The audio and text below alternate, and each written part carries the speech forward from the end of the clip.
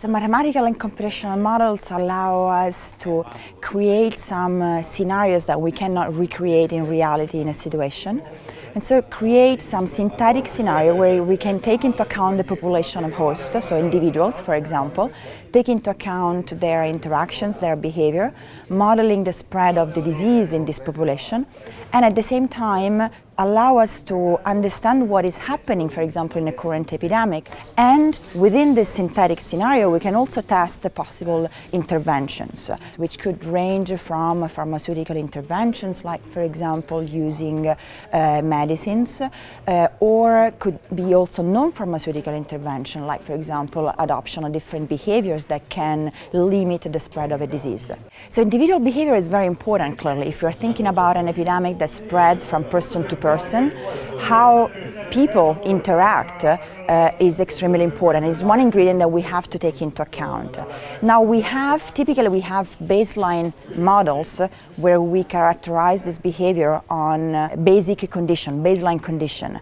But as soon as there is an epidemic, if there are some factors, for example, like inducing panic, or even if there are some recommendations, for example, by public health authorities, this behavior may change. These are all elements which are provided somehow in a, in a top-down fashion from public health authorities to the public, but there is also a strong component which could be uh, independently uh, chosen by, by the, the general public, by individuals themselves. And we have seen that many, many times. One first uh, event, typically for thinking about epidemics at a global space, is that people reduced traveling to the affected area.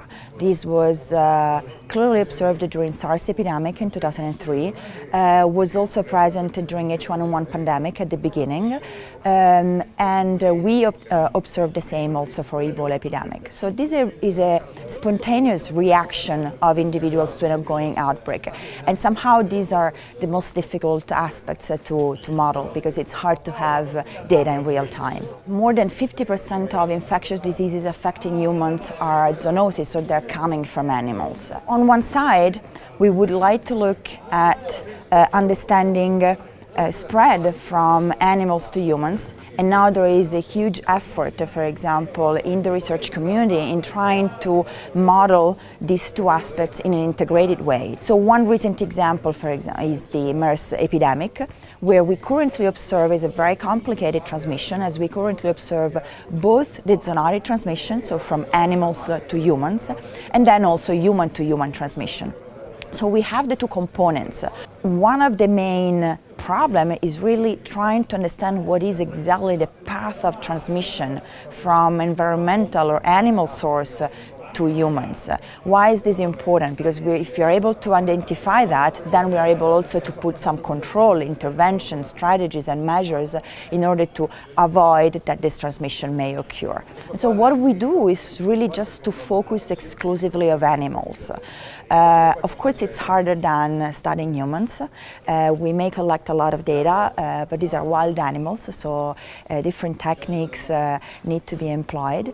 And what we do is to trace their movements in space, uh, trying to model their interaction depending on environmental conditions, and so trying to understand what are the conditions that make the disease uh, persistent in that population, and that could lead afterwards to spill over to humans.